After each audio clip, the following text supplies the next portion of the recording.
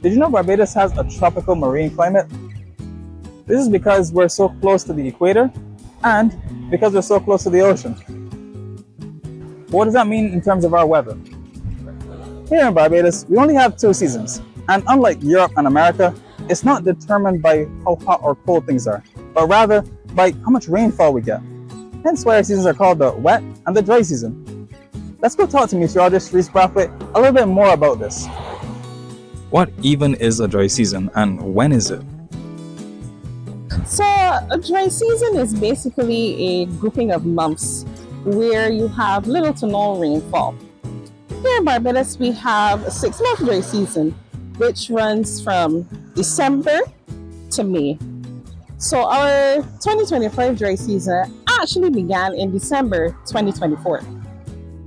Although the tropical marine climate doesn't vary much in terms of temperature, are there still any changes? There is some variation in temperature during the hotter part of the year and the cooler part of the year. Incidentally, coolest part of the year is actually during the dry season. Now to really put that into perspective for you, places like the US and Canada, Europe even, their summertime temperatures are maybe 30, 40 degrees Celsius, and their wintertime temperatures are below zero degrees. So already that is a 30 to 40 degree difference between the hottest part of the year and the coolest part of the year. Now here in Barbados, the difference is not as big. The hottest part of the year is maybe one to two degrees warmer than the coolest part of the year.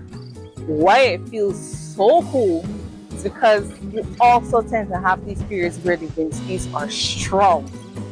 Additionally, you get features like shear lines that bring cooler temperatures into the region. So what does a typical dry season look like? So typically during dry season, you might realize because we have a lot of fair weather days, maybe your lawn is gonna dry up. And then we also get these periods with these really strong wind speeds. So if you like kites, the dry season is the best time for you.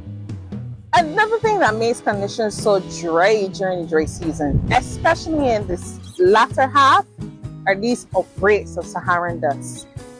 And what tends to happen is the Atlantic high pressure system picks up the dust off the coast of Africa and tracks it all the way into Barbados and the Eastern Caribbean.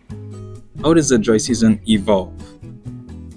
So people often assume that because we're in the dry season, the atmosphere is going to act like a tap and turn off the rainfall. Boom, no more rainfall.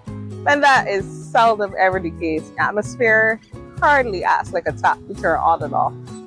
You have this nice gradual decreasing rainfall from December into March. So March is our driest month.